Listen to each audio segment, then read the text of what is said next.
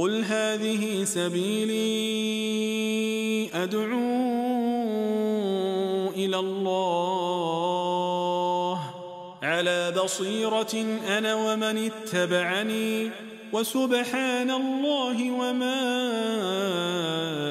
أنا من المشركين. بسم الله الرحمن الرحيم. الحمد لله والصلاة والسلام على رسول الله وآله وصحبه ومن اهتدى بهداه أما بعد Dear brothers and sisters in Islam, Assalamu alaikum rahmatullahi wa barakatuh and welcome to this live episode of Ask Zad coming to you every Saturday between Maghrib and Isha time here in Mecca region. As usual, we will take three of your questions from the emails. So the first question is from Azib. He says, Ya Shaykh, people praying with chair in rows break the row. How should one place his chair if he's praying in rows? If there is no place in the masjid specifically for this? That's a valid question. And to answer your question, Azib, we say that I, as an individual, what am I obliged to do?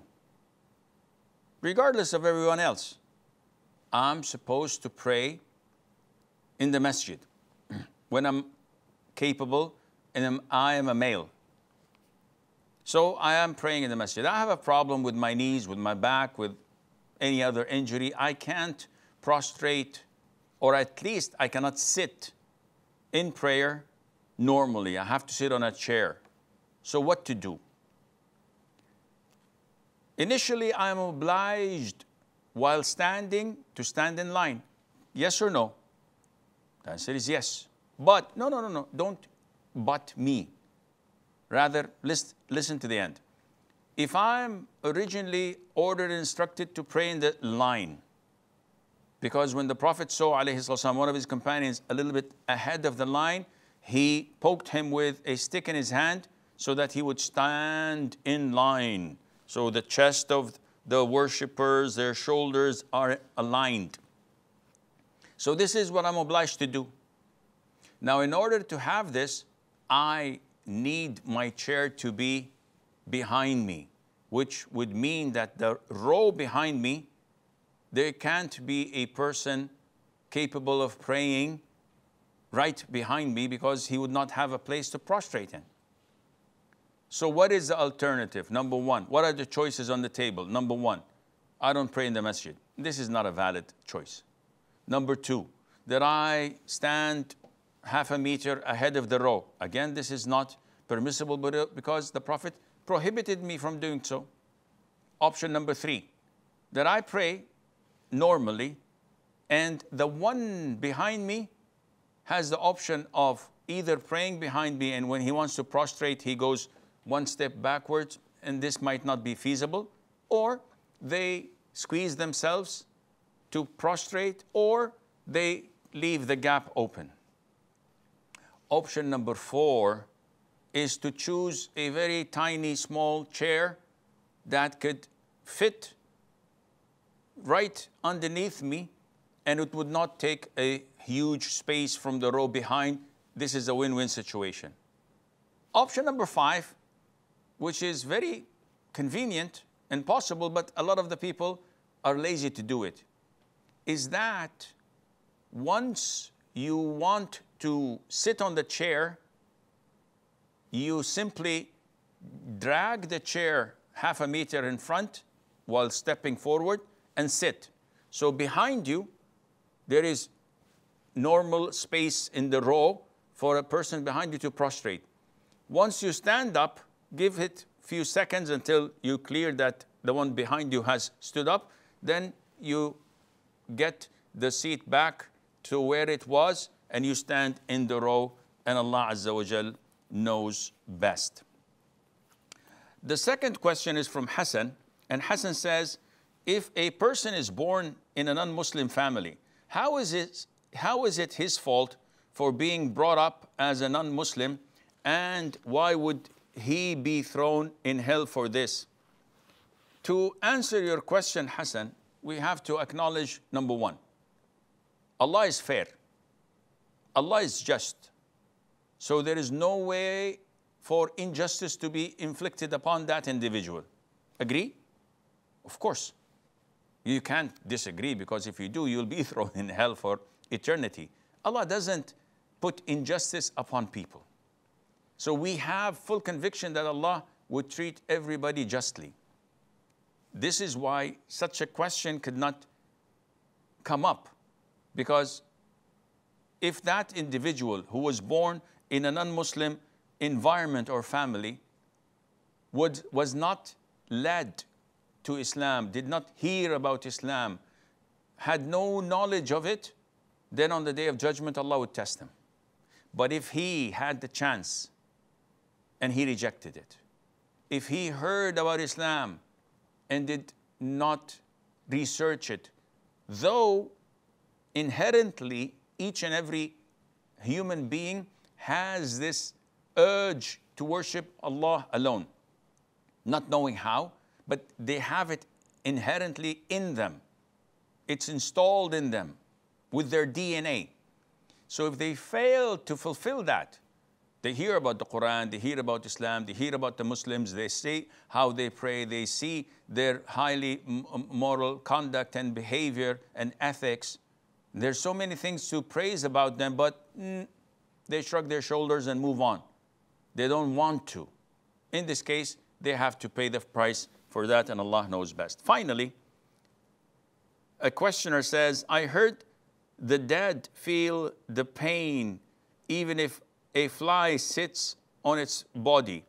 They say this is because of the hadith breaking the bone of one who's dead is like breaking it when he's alive. Does this hadith indicate that the dead people feel extreme pain when their bones are broken? The answer is no. The hadith is referring to how to respect the corpse of a deceased person. After the soul is extracted at the time of death, the person who died does not see or feel his body when it's being washed, transported, shrouded, prayed upon, placed in the grave. He regains his hearing and feeling once the soul is placed back for questioning, and this is when he hears the flip flop or the shoes of those who, who had just buried him leaving the graveyard. And then he's questioned by the two angels and he made to sit in his grave in a way that is not resembling anything that we know of in this life because he's dead. So, how is this going to happen? How is he going to be tormented or given favors and blessings of Allah in his grave, this is a different phase and stage of life. There is this life on earth, then there is the life in the hereafter for eternity, and in between there is the life of barzakh. This is the life of the barzakh. When he's in his grave, we have no knowledge of what's happening. But does the corpse of the deceased feel the pain if we slap it, if a fly falls on it, if someone drops it. No, it does not feel the pain, but the Prophet is telling us that the breaking the bone of a dead person is like breaking it when he's alive and mean in it having its sanctuary, it, it having its uh, uh, status in Islam to be respected and taken care of, and Allah knows best. Amirul from Malaysia.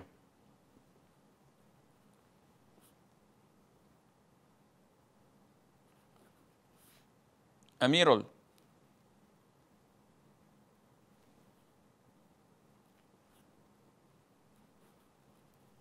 Ammar from the UK.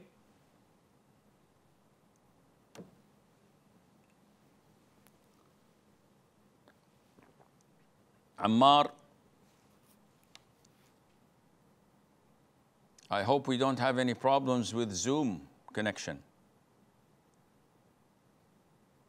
It appears that we do have a problem. That's why we will have to take a short break. Stay tuned and inshallah, we'll be right back.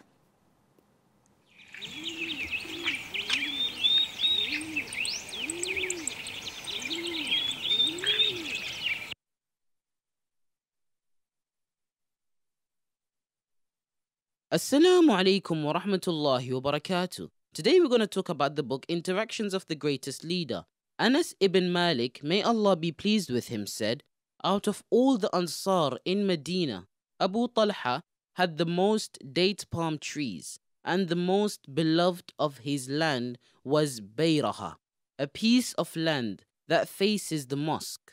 The Messenger of Allah wasallam used to enter it and drink from some water therein. When the verse which means, Never will you attain good reward until you spend in the way of Allah from that which you love, was revealed, Abu Talha stood and said to the Messenger of Allah sallallahu alaihi wasallam, O Messenger of Allah, the Almighty says, Never will you attain good reward until you spend in the way of Allah from that which you love. And the most beloved part of my wealth is Bayraha. Therefore, it is a charity for the sake of Allah. And I hope that Allah accepts it and stores it for me in my record for good deeds. So use it in any way Allah shows you. So the Messenger of Allah sallallahu alaihi wasallam said, This is such a good action. This is profitable wealth. I have heard what you have said, but I see that you should give it to your relative. Abu Talha, may Allah be pleased with him, said, I shall do so, O Messenger of Allah. So Abu Talha divided it between his relatives and cousins, and among them were Hassan and Ubay ibn Ka'b. That is how the Prophet of Allah sallallahu alaihi wasallam used to advise them about which places are more suitable for charity. Reported by Al-Bukhari and Muslim.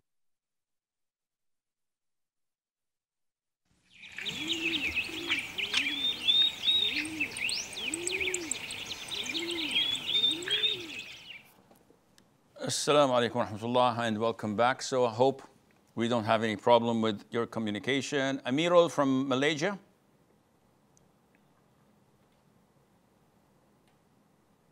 Amirul.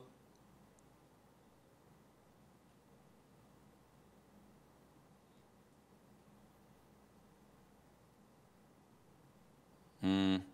Anybody?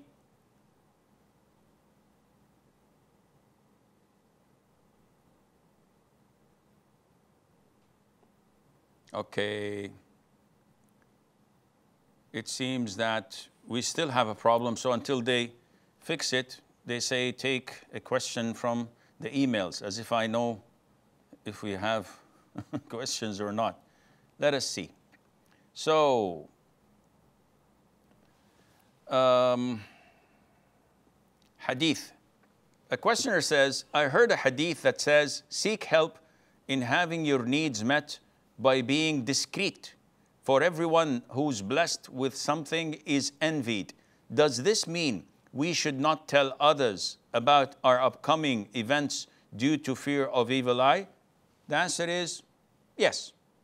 In short, generally speaking, the hadith استعينوا على إمضاء حوائجكم بالكتمان فإن كل ذي نعمة مغبون. Everyone among us who's favored by Allah is being envied. So if I keep on telling people, listen, tomorrow I'm going to buy a new car, inevitably one would give me an evil eye without him or me knowing it. It happens, it's something natural. Uh, if I say to people that I'm applying for a job and it has double the salary and benefits and insurance for the parents, blah, blah, blah, again, there is a, a possibility of people being envious. So the Prophet ﷺ is telling us to, to be discreet. Not that it is prohibited.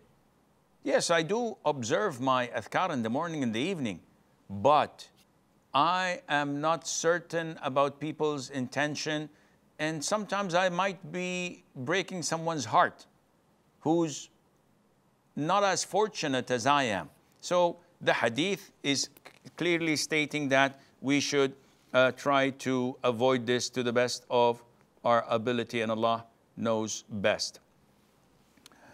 The following question is How was Asiya married to Pharaoh when she was a believer and he was a non Muslim? Now, this question deals with whether the law and sharia of those before us apply to us or not, and whether our law and sharia applies apply to them or not. And the most authentic opinion is that each religion has its own laws. So the question to begin with is beyond comprehension because Pharaoh is a kafir. And Asiya at the time was a disbeliever. She did not have a religion. And she believed in Pharaoh to be a god, maybe, or whatever, until Musa came, peace be upon him, and she became a Muslim. First of all. Second of all, if you look at the laws of religions before us, you would find that there are things that were permitted in their religion and abrogated in ours, and now it is not uh, uh, valid anymore in our religion, though it was part of previous religions. For example, in the religion of Prophet Solomon, peace be upon him, he used to have control over the jinn. We can't. He used to have the jinn create and make statues of living creatures, which is prohibited in our religion. In the religion of Yusuf, peace be upon him, it was permissible to prostrate when greeting people of authority, which the siblings of Yusuf did when they came to greet him when they visited him after repentance. So such things indicate that what was fine in their religion can be abrogated and changed. But what counts is the final Sharia, the final law of Allah, which is Islam. And Allah Azza wa Jal knows best. And I hope this answers your question. And let's hope that we have the problem fixed. Uh, Amirul from Malaysia.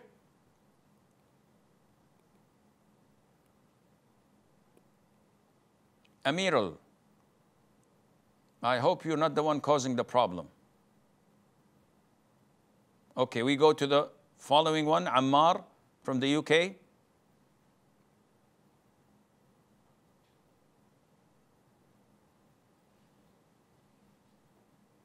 Recording in progress. Yeah, Ammar, the recording is in progress.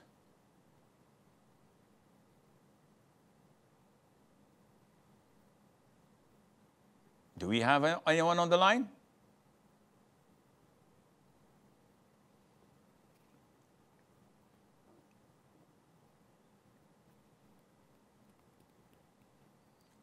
Ammar?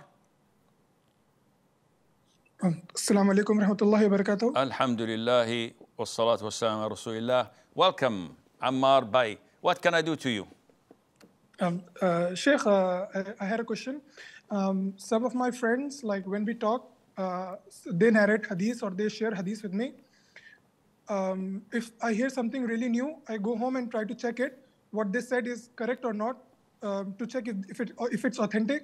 Um, if it's not, I next day I inform them that what you said is not correct and this and this. But sometimes I'm not able to find out what they said is correct, or I'm not able to uh, find any evidence of what the, the hadith they're saying is correct or not what should I do in this case? Should I just follow what they said or should I uh, refrain from following their advice about a hadith? No, no. Wajazak. Akhi, this is normal. We all do this. I do this all the time.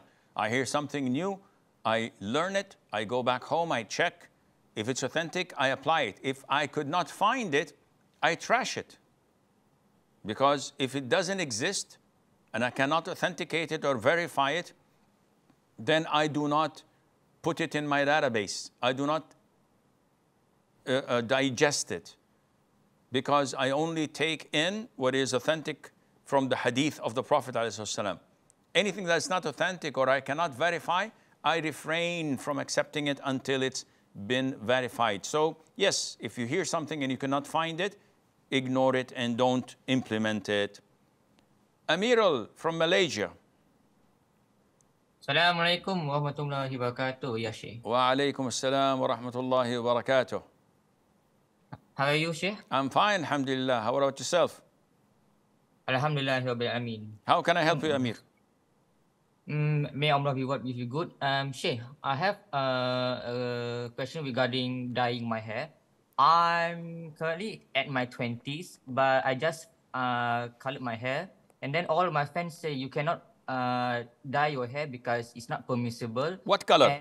Say, I, I think it's kind of like uh, brown, but it now turns into slightly blonde but the blonde uh, I had no control because it slightly turned out uh, it became itself blonde. I have no no control over it. So you don't and have then, you don't have any affiliation with the K-pop.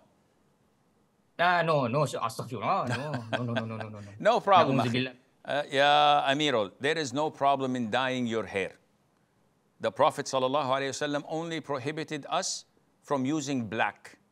So if you dye your hair blonde, if you dye your hair uh, uh, brown, if you dye your hair red, with, when you're using henna or orange, totally permissible. Okay? Uh, Noor from Nigeria. السلام عليكم شيخ عليكم السلام ورحمة الله وبركاته. How are you شيخ I am doing great. Alhamdulillah Rabbil Alameen. ما MashaAllah. So, um, yeah, Sheikh, I have a question. I started asking the question, but uh, what is it? Uh, prayer. When it's... I go regarding Juma, Juma prayer. Okay. So when I go for Juma, sometimes like I go really early, before the time, before the time enters for Juma prayer. So I, I don't know. Can I pray? I see people praying a lot of rakats before the Imam comes, before the time enters, that's before the sun sun is above the horizon, just after when the time enters for Zuhur. So I see people praying a lot of prayers. I don't know, can they pray that or just the two rakats that you are allowed to pray? Uh, because after that, after when the Imam comes and says uh, Assalamu alaikum, sometimes I see people rise again after they have already prayed their two rakats or more and then pray again. So I want to know what is allowed, Ya Sheikh, how many prayers can we pray before the Jumat prayer? Okay, uh, Noor, I will answer you inshallah. First of all, Dhuhr prayer, Saturday through Thursday, has four rak'ahs, prescribed emphatic sunnah before the fard, and two rak'ahs, prescribed emphatic sunnah after the fard. Now, in Jumu'ah, it is an exception. استنى في تصوير. There is an exception. Today is the day of surprises. MashaAllah, everything is going out of order. So, what is the exception? The exception is that it is part of the sunnah. Whoever comes early for Friday, that he prays how many rak'ahs he wants. You want to pray two? This is sufficient for you to sit down. You want to pray 10? You want to pray 100? The sky is the limit. Why? Because the Prophet ﷺ told us that this is part of the sunnah for Jumu'ah. Okay, Sheikh, but we know that 10 minutes before the Dhuhr, it is a time where it, we should be not praying. This is a prohibition time. Yes, but not for Jumu'ah. There is no prohibition time for Jumu'ah. You pray all the way. No problem. Second part of your question would be, what about if the Imam comes and said, Assalamu alaykum wa rahmatullahi wa barakatuh, and sits down and the Muaddin starts to pray. Some people stand up to pray. This is wrong. What they're doing is an innovation. They should sit down. They must not pray. Khalas, the moment the Imam says, Assalamu alaykum wa rahmatullahi wa barakatuh, it's over, it's done. They don't pray and they just sit and listen, and I hope this answers your question. Fuad from Bangladesh. ورحمة الله وبركاته. وعليكم السلام ورحمة الله وبركاته. How are you, Sheikh? الحمد لله رب العالمين فؤاد. What, what about you? Alhamdulillah, Sheikh. حياك الله. How can I help you أخي? So, Sheikh, my question is, if a person uses a toothbrush instead of siwak, will he be entitled to equal the reward? Barakallahu fi hayatik. وفيك بارك الله. It's an issue of dispute among scholars whether this is sufficient or not. And the most authentic opinion is that what is intended is to brush and clean your mouth and teeth. Now, the best way of doing it is using the arak, the miswak, made from this twig. And I know people pay money for this, but alhamdulillah, we're graced and blessed by Allah to find it cheap here and available. If you can't do that, you can use any other form of twig or a normal toothbrush. If you add to that toothpaste, even more better because it gives a nice scent and uh, uh, uh, maybe fragrance, I don't know, to it. It adds value as well. So, Alhamdulillah, you will be rewarded for that as well. Yunus from India. السلام عليكم ورحمة الله وبركاته شيخ وعليكم السلام ورحمة الله وبركاته. uh, Sheikh, uh, nowadays uh, in colleges, Sheikh, uh, graduation ceremonies took place, Sheikh. So, for the students, is it permissible to wear black robe and black hat on that day, Sheikh? Okay. Wajazakum. So, this question is an issue of dispute. People, when graduating, they tend to wear these black robes and put these square hats with things dangling from it to receive their certificate in a ceremony. So what's the ruling on participation, participating in such ceremonies? Some people say it's okay because this is part of the customs and everybody's doing it. I personally believe that this is not a Muslim tradition. Neither these ropes are ours, nor these hats. If you come to our country and you wear the black robe with the golden stripes on the side, which is the Arab uh, um, garment worn in um, Eids and festivals and the likes, yeah, this is okay. But to wear the same robes and black squared hats, this is, in my opinion, not permissible as it's imitating the disbelievers. And Allah Azza knows best. We have a second short break, so stay tuned, and inshallah, we'll be right back.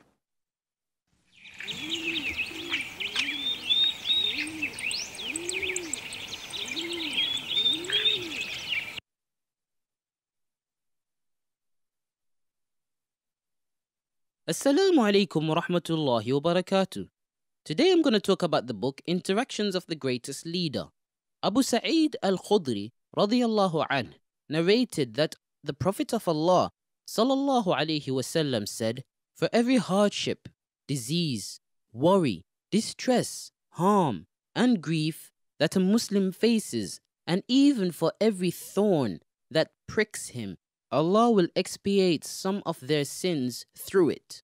Abdullah ibn Mas'ud radiallahu anhu said, I entered where the Messenger of Allah sallallahu alaihi wasallam was, and I found him suffering pains of a fever. And I said, O Messenger of Allah, you are suffering severe pains of your fever. And he sallallahu alaihi wasallam said, Yes, I'm suffering as much as two men among you would suffer. I said to him, For that reason, will you have two rewards? He sallallahu alaihi wasallam said, Yes, it will be as you said. There is not a Muslim that is afflicted with the harm of a thorn or any above that, except that because of it, Allah will expiate their sins, and his sins will fall like leaves fall off a tree.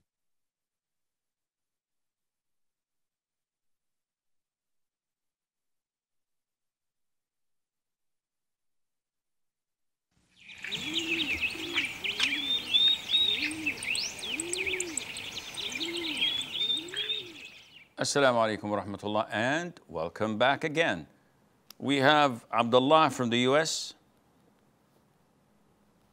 Assalamu alaikum wa rahmatullahi wa barakatuh. Wa alaikum assalam wa rahmatullahi wa barakatuh. So, uh, Sheikh, uh, my question is uh, that um, I I have like a I'm a, I'm like a teenager right now, so I have like a beard, I have like a side I have like sideburns, and I have some hair in the front. And I heard your video on uh, to not touch the beard, so that's what I'm doing. I'm not touching it. And so uh, my question is, uh, is it permissible permissible for me to dye it? Okay. Dye it with what color? Uh, like the orange orange what color? If, if you're not imitating the disbelievers and you're not, uh, um, it's totally permissible Whether you put henna and dye it with orange or dye it with dark brown or dye it with any other color that is normal among the people, this is totally permissible without any problem, inshallah. Yunus for Germany. عليكم Yunus. السلام عليكم شيخ وعليكم السلام ورحمة الله وبركاته. um, so my question is if someone so I, the thing the thing is my mother doesn't wear hijab and I'm getting into some difficulties so I'm just gonna tell you some things and please tell me whether any of them is prohibited and maybe elaborate so like We can, we can only I- have one, yeah, Yunus. We can't take more than one. Um, so like, there is a tab, okay, and we put it for clothes, okay, uh, and then so can I put clothes in there? Then what happens is my mother takes the the tab, then walks to the wash machine, washing machine. But the thing is, she walks past a very big window without hijab. So is this permissible? If I don't do it, she gets very angry. So uh, please explain. I hope you I hope you know what I mean. So like. No, no, I don't know what you mean. Um, like, uh, how much? Um, so like, my mother doesn't wear hijab, and sometimes windows windows are open in the house. Okay, and like, uh, how much attention must I pay, not to be the cause of someone seeing her from outside? Like, is it permissible to often open a window, even though my mother um, may pass, or is it permissible to tell her to carry something, though she passes? Uh, um, she passes in front of the windows, like. Uh, This is something, listen, Yunus, this is something way beyond your control. She's your mother. You can't do anything other than to advise her diplomatically. If she doesn't wear the hijab, you shouldn't be only concerned about her presence in the house, whether you open the windows or not, whether there are curtains or not. You should also be concerned with her going out, going to work, going to groceries. And this is something you cannot help. You can only advise, you can drag and pull a horse behind you for two kilometers until you reach the river, but you cannot force the horse to drink afterwards, even if you bring 10 strong men. So, this is something you cannot do. Make dua for her, give her pol- uh, polite and diplomatic advice once every blue moon, strengthen her iman in Allah and how Allah is all seeing, all hearing, and He sees what she's doing, and Allah is not pleased with what she's doing, and whatever problems and calamities that befall upon the family, it is because Allah has taken the barakah out of that family, probably because of these sins, little by little, maybe. But living in the house, what can you do? She's not wearing the hijab. Sometimes you need to open the door, sometimes you need to open the windows. So if your father doesn't have the jealousy and the manhood to be jealous or to take care of the business in his own home, this is not your responsibility. May Allah make things easy for you. Ayan from Pakistan.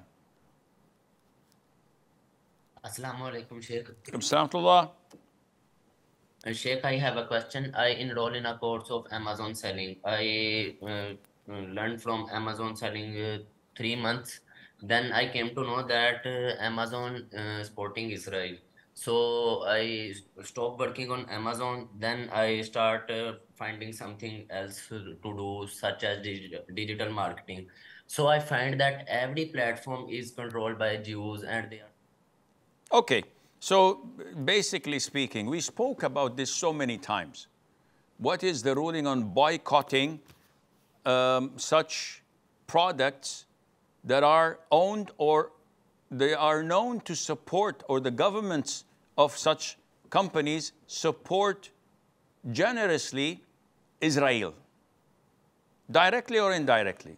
And we said that boycotting is something that is beneficial. The Prophet did it, alayhi salatu wasalam.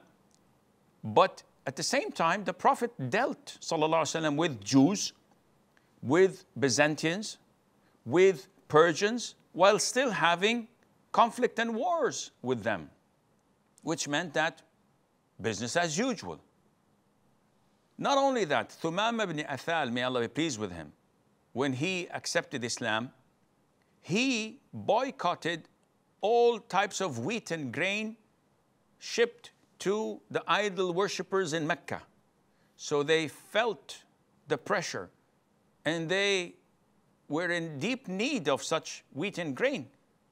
After few months, they, the enemies of the Prophet ﷺ, who were still fighting him, sent invoice to the Prophet begging him to, uh, to re- uh, uh, reconsider the ties of kinship between them and to allow the wheat and grains to come to them. So the Prophet uplifted the embargo and allowed it to go in. What does this tell you? They were idol worshippers, they were enemies, they killed the companions. But the Prophet ﷺ uplifted the embargo. So this is a personal preference. If you want to boycott because you feel that it would hurt those who support Israel, good for you. This is your personal uh, way of doing it.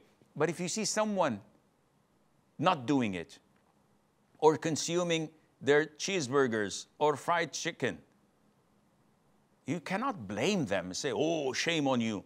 You're drinking their soft drinks. No, it's not. It's halal. So put things in perspective, weigh things with fairness and Islamic rulings from the Quran and Sunnah. Don't just shoot from the hip like so many people do, unfortunately. Now, if you want to work for these companies and there are no platforms for you to work and you are the breadwinner, there's no problem in working with Amazon or with any other company as long as it's halal and you can't find the alternative and Allah knows best. Zakaria from the UK. Assalamu alaikum. Salamullah. Um, so basically, I don't know how to roll my tongue, so I was wondering, is this part of the um, the letter Ra? Is that part of the makhraj? And if you don't know how to roll your tongue, should you learn them? I have no idea what you're saying, Akhi. You know um the the trilling noise when you pronounce the um the Arabic letter Ra. I don't know the, uh, the, the, what you're referring to, but I think you're meaning Allahu Akbar or وَمِن شَرِّ Yeah, غَاسِقٍ. basically. So whether you say وَمِن شَرِّ or يُشَرِّ Allahu Akbar, there's no problem in that, akhi. Move on. Everybody knows it's a ra. It's an R. Don't be so meticulous in perfecting it as the qaris do. You're not a qari, I'm not a qari. But everyone knows Arabic, knows that you just said Allahu Akbar. You just said min sharri. قال رب اغفر. Ra, ra. Everybody knows it's an R. So move on and don't let shaitan hold you back. Asna from India. السلام عليكم ورحمة الله وبركاته شيخ. عليكم السلام ورحمة الله وبركاته. I am struggling with the pronunciations of some Arabic letters. I can pronounce all letters except Ghain and Dad. I am I'm struggling with those letters. I, I. I hear you saying it beautifully. So it seems to me that shaitan is messing up with your head. Well, So what's the problem? Recite it to me if you wish. I don't think I can do it because I am having some problems with my mic. Okay, if you have problems with such pronunciations, the easiest of all solutions is say it silently When you say غير المغضوب عليهم ولا الضالين and you have problems with ضاد or صراط, you just say it silently. Listen. I said it perfectly. Yeah, but I didn't hear it, Sheikh. You don't have to. Saying it silently exempts you from the whispers of shaitan. This, did my tongue reach the ceiling of my uh, uh, throat, or did I do this right? Did I do? No, no, just move on, and inshallah things would be fine. Amatullah from Pakistan. Assalamu alaikum wa rahmatullah. Salam wa wa barakatuh. If my question has three small parts, but I'll be quick. Please listen to the complete question. No, Uh, no, no, no, no. Amatullah, the question is short. Please don't prolong your question. Just ask me, what's the ruling on this? Don't give me any background or circumstances.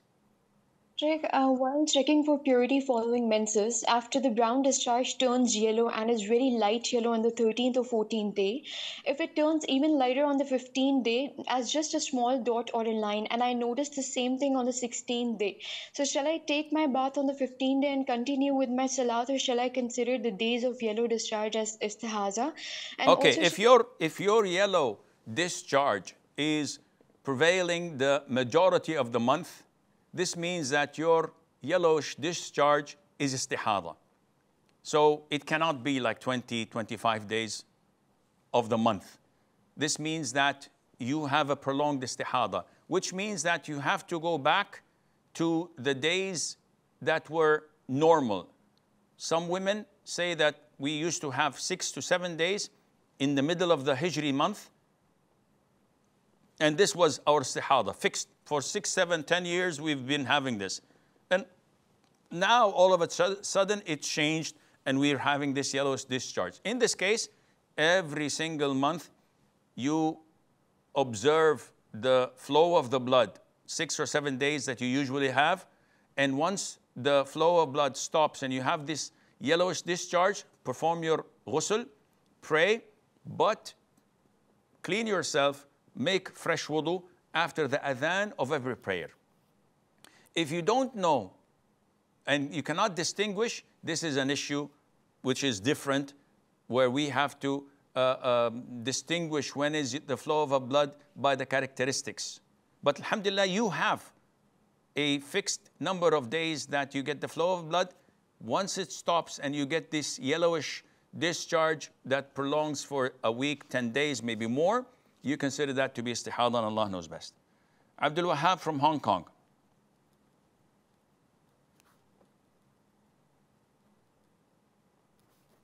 Abdul Wahab. Assalamu alaikum. Wa alaikum assalam wa barakatuh. So my question is, I work in a airport as a baggage handler. Um, sometimes a haram package such as musical instruments uh, pass by once in a day or two. So I have to put it in a belt when I'm uh, working alone. So uh, what's the ruling on it? No problem, inshallah. You can put it on the belt. Maybe it's filled with dead cats. You never know. So just assume the best and put it, and it's once every blue moon, and it's not your uh, uh, business to in- investigate what's in it, inshallah. Umar from Egypt. Assalamu alaikum, ya Sheikh. Alaikum salam. I heard your fatwa about creating video games and that if they're halal, if they're innocent, and if they don't contain haram. But uh, are we making, are like, is making horror games haram on the basis that its purpose is to scare people, even though the game has no music or no haram content? How, how, yeah, Umar, how could it not have haram content if you're not going to put animation or human beings or animals? Umar. Hello? Yes. How could it be not haram? Uh, Good question, huh? it's a great question. Yeah. So think it out, think it over, and come back again, inshallah. Uh, Yasin from Germany. Alaikum, Sheikh. Samtullah. Sheikh, my question is um, if somebody says the morning of adhkar um, Asr time, would he still get the reward of saying it, or does it have to be said at Fajr time? Jazakallah khairan. Uh, uh, ya, Yasin, y- are you referring to the morning adhkar or the evening adhkar? The morning adhkar. No. If he says it at Asr time, it's over. Once the Dhuhr is called, the most authentic opinion is that it's, that's it. You're not protected anymore. So be careful. Danielle from Ireland.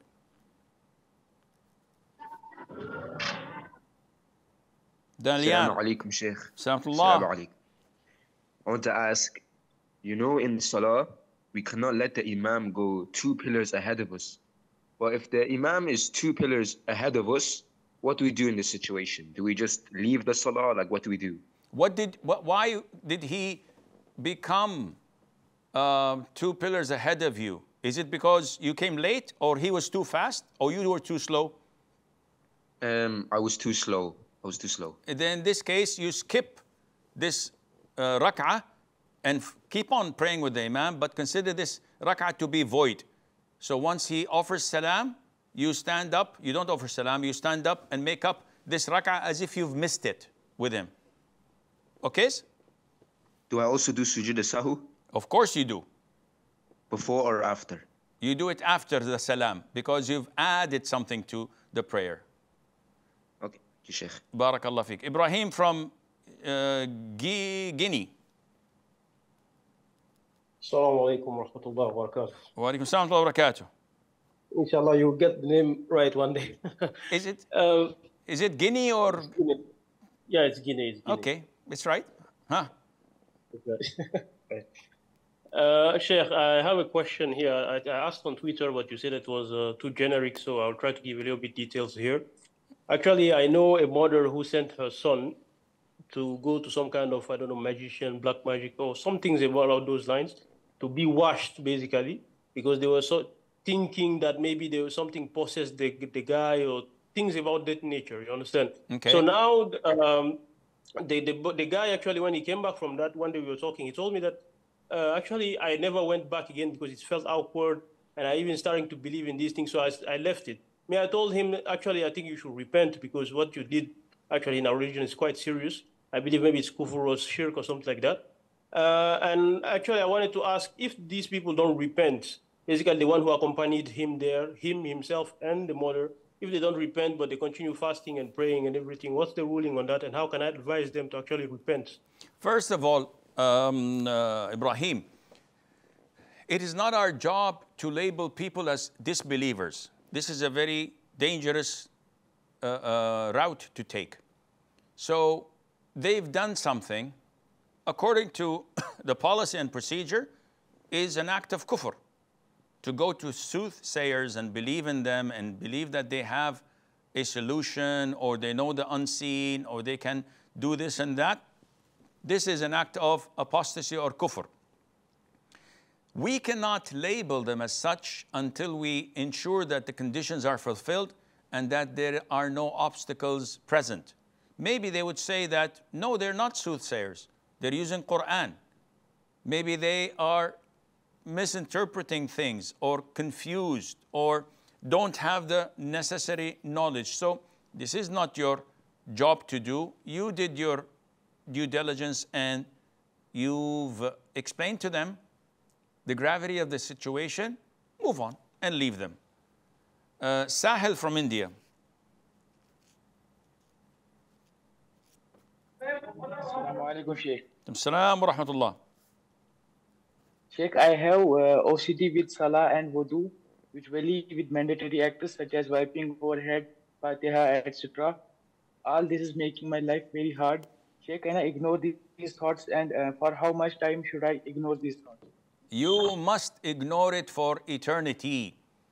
Whenever there is hardship and you're suffering from it, you have to acknowledge that this is from shaitan, it's not from Islam. So the moment you feel that this is becoming out of hand, this is from shaitan, he's messing up with your head. The best thing to do for people with OCD is to ignore. The moment they fail to ignore, they have opened the Pandora box. They've set themselves right into the trap of shaitan. May Allah protect us all. Saad from Pakistan. Can I? Alaikum salam. Alaikum salam to Allah. So, Chef, these days we see many videos of, on YouTube and on TikTok saying that in Islam there is gender equality. Is there any truth to this or is there not? First of all, we don't have genders in Islam. We have males and females. That's it. The terminology gender was recently introduced so that they can put all the LGBTQ plus one XW, whatever they call them, uh, whatever alphabets is remaining, into the equation. We have males and females. That's it. Now, do we have equality between males and females? The answer is no. Allah stated this in the Quran. وَلَيْسَ الذَّكَرُ كَالْأُنثَى Males are not equivalent to females. Otherwise, my wife would say, I'm going to take a break for five years, you get pregnant. There's no equality. However, there is fairness in Islam. So my job is my job description is totally different than my wife's job description. I have to do what I have to do, she has to do what she has to do, and this is the fairness of Islam, but there is no equality. She cannot say, listen, you do the chores of the house the next, for, next week.